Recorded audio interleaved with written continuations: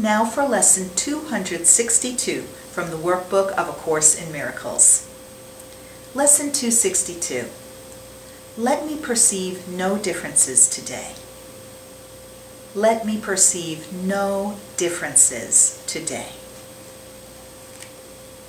Father, you have only one Son, and it is He that I would look upon today.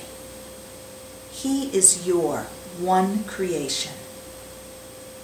Why should I perceive a thousand forms in what remains as one? Why should I give this one a thousand names when only one suffices?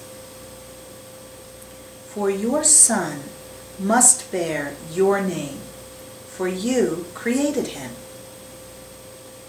Let me not see him as a stranger to his Father nor as a stranger to myself.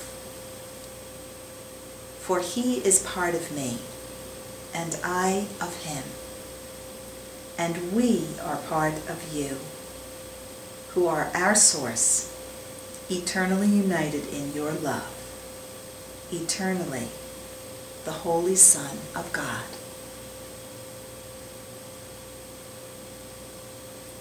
We who are one would recognize this day the truth about ourselves.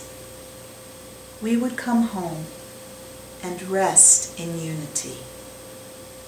For there is peace, and nowhere else can peace be sought and found.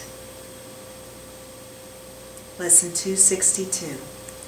Let me perceive no differences today. If you'd like to read my commentary on the workbook, go to amytorresacim.com and read Amy's blog. Namaste.